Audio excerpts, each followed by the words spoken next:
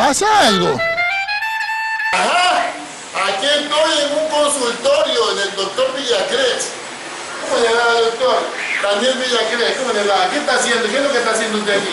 Bueno, este, desde la Sultana del Café realizando una campaña odontológica, es una labor social en beneficio de las personas eh, más necesitadas, ¿no? en escasos recursos económicos.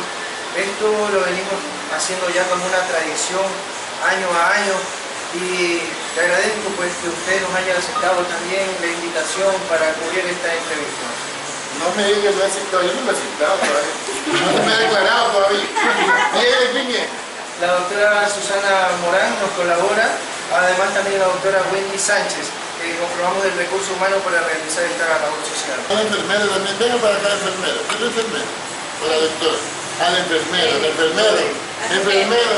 Este, bueno, entonces ya sabe, aquí en Hipijapa, estamos en Hipijapa, Hipijapa. La tierra del café y del chocolate y de la mujer. De las mujeres bonitas y de la gente, los hombres hermosos.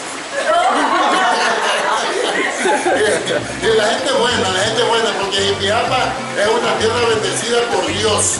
Ya sabes. Entonces aquí está el doctor Villacrés haciendo esa campaña. Doctor, que Dios me le siga bendiciendo, que usted siga haciendo su labor y chévere. Muchas gracias y le envío un saludo a todos mis colegas de la, de la provincia de Y Manaví. que haga lo mismo. Y que hagan lo mismo también. Realmente haga haciendo plata por su bolsillo, no más anda.